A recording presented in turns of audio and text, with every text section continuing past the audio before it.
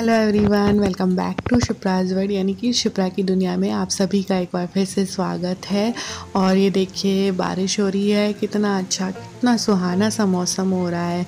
तो बस मेरा मन कर रहा था छत पर जाने का तो हम लोग बस बारिश रुकने का ही वेट कर रहे थे। और जैसे ही बारिश रुकी ना, हम लोग छत पर मौसम को एंजॉय करने के लिए ऊपर आ गए थे। अभी आपको पूरा वेदर दिखाती हूँ, देखिए। कितना अच्छा लग रहा है, कितनी अच्छी ग्रीनरी वगैरह सब कुछ, कितना अच्छा मतलब नेचर को फील किया जा सकता है, कितना सुंदर देख के मौसम हो रहा है, कितना सुहाना सा। और आज छत पर चाय बनाने का मेरा मूड हो गया, फिर अचानक से जैसे ही मैं वीडियो वगैरह ले रही थी ना, और टाइम भी वैसे हो ही चुका था चाय का एक बजे के आसपास हमने खाना खाया, और छत पर हम लोग थे तो लगभग दो बजे के आसपास का टाइम हो ही चुका था। सो so फ्रेंड्स अभी मैं ऊपर थी और अभी एक बार नीचे आई हूँ क्योंकि आज मैं बनाऊँगी ऊपर छत पे चाय क्योंकि बहुत अच्छा मौसम हो रहा है और चाय पीने का मौसम हो रहा है। तो इंडक्शन लेके जा रही हूँ, चाय का सारा सामान लेके जा रही हूँ और ऊपर बनेगी अभी चाय तो चलिए चाय बनाते हैं, छत पर इंजॉय करते हैं चाय को। सो so फ्रेंड्स मैं यहाँ पे चाय का सारा सामान लेके आ गई हूँ और डिस्पोजेबल कप और दूध, अभी दिखा देती हूँ। चाय और चीनी मैंने एक साथ मिक्स कर लिया है। अदरक ले आई हूँ और इंडक्शन वाला बर्तन भी लेके आ गई हूँ। तो चलिए, फटाफट से चाय बनाते हैं।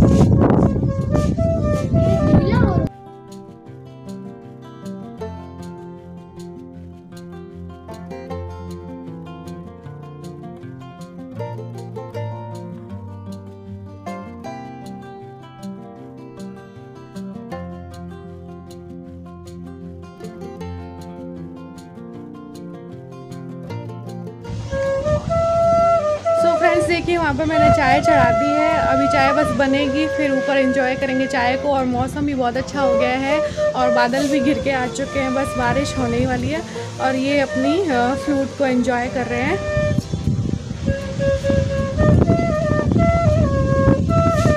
अतक अपने गेम में लगा है।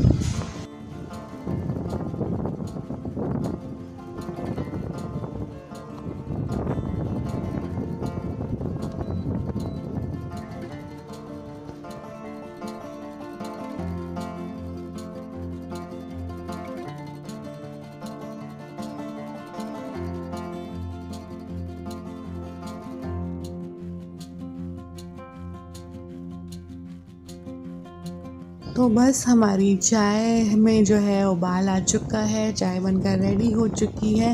तो फटाफट से इसे ग्लासेस में फिल कर लेते हैं और फिर इंजॉय करते हैं चाय को। तो यहाँ पर मैंने बड़ी ग्लास में चाय को एक बार फिल कर लिया था और अब मैं जो डिस्पोजेबल ग्लासेस हैं, उनमें डाल रही हूँ चाय। और सही में बहुत मज़ा आया चाय छत पर बनाकर। बहुत अच्छा लगा तो ये देखिए, आप लोग भी ले लीजिए गर्मा गर्म चाय।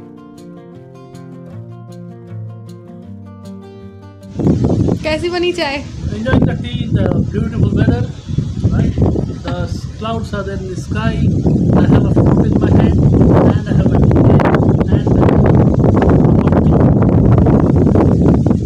तो बस चाय वगैरह पी के हम लोग नीचे आ गए थे छत से क्योंकि वापस से जो है बारिश जो है स्टार्ट हो गई थी और बहुत बारिश आई।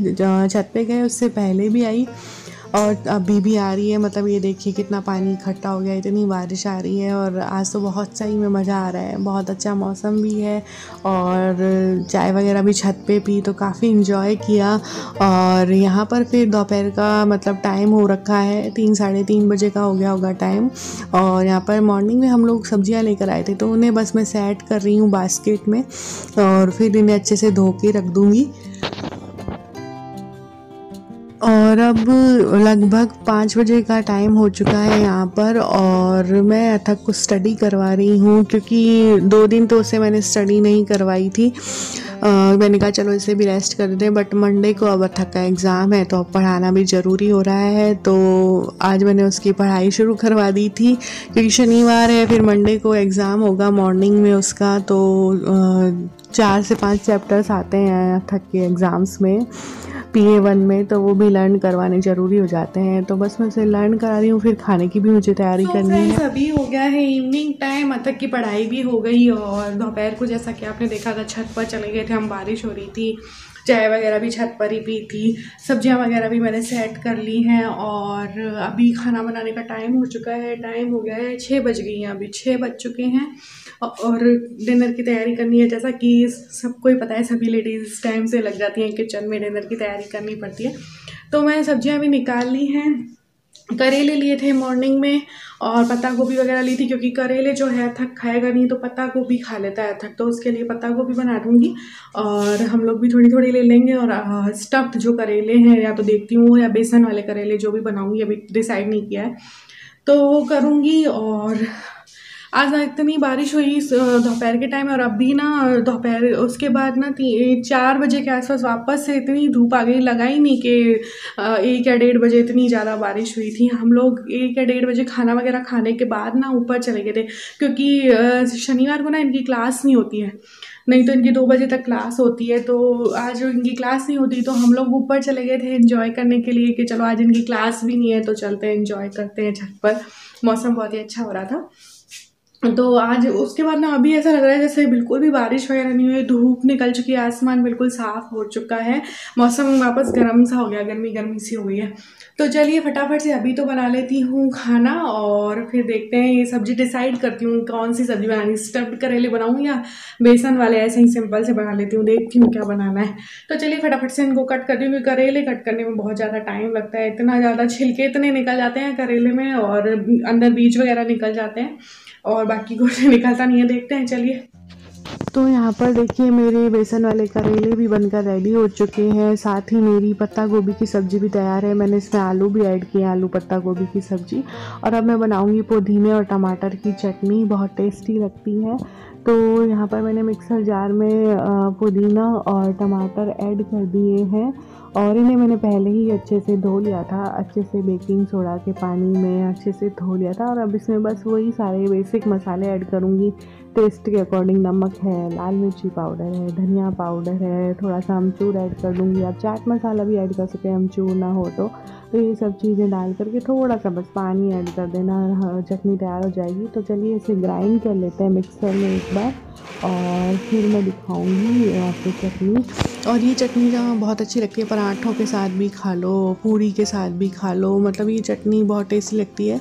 आ, वैसे पुदीने की ओनली पुदीने की चटनी बनाओ ना तो वो थोड़ी सी खारी सी बन जाती है। तो टमाटर के साथ जब भी हम बनाते हैं ना तो ये बहुत टेस्टी लगती है। और मैं वॉइस ओवर बाद में कर रही हूँ तो ट्रस्ट में गाइज़ अथक को भी बहुत पसंद आई ये चटनी।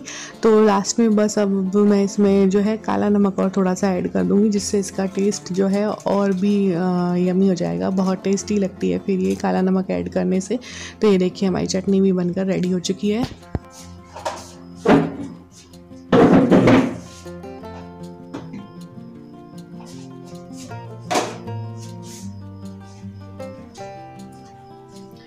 सो so फ्रेंड्स अभी खाने का काम तो हो चुका है। मतलब मैंने दोनों सब्ज़ियाँ भी बना ली। चटनी भी मेरी बन गई, आटा मैंने लगा रखा है और आठ साढ़े आठ के आसपास हम लोग खाना खाते हैं सब लोग। तो बस अब फुलके सेकने बाकी हैं तो फुलके सेकूँगी और इस व्लॉग को भी मैं यहीं पर एंड करूँगी। ये व्लॉग आप लोगों को कैसा लगा मुझे ज़रूर बताइएगा और शाम का टाइम है, गणेश जी के दर्शन कर लीजिए। मैंने इसीलिए कैमरे का जो एंगल है, इस तरफ़ सेट किया था। तो इवनिंग टाइम हो चुका है दिया अगरबत्ती का भी टाइम हो चुका है तो बस अब फुलके सेक के सबको खाना भी खिला दूँगी और आज इतनी अब गर्मी हो गई ना, बरसात तो हो गई थी, लेकिन इतनी गर्मी हो रही है कि चिप चिप चिप चिप सा हो रहा है। तो नहाऊँगी भी, पहले फुलके सेकूँगी, फिर नहाऊँगी, क्योंकि हमें वरना फिर नहीं तो किचन में वापस पसीना पसीना हो जाते हैं। तो चलिए फ्रेंड्स इस ब्लॉग को यहीं पे एंड करूँगी। मुझे कमेंट के ज़रिए आप लोग ज़रूर बताइएगा कि ब्लॉग कैसा लगा। तो मिलते हैं नेक्स्ट ब्लॉग में, तब तक के लिए बाय टेक केयर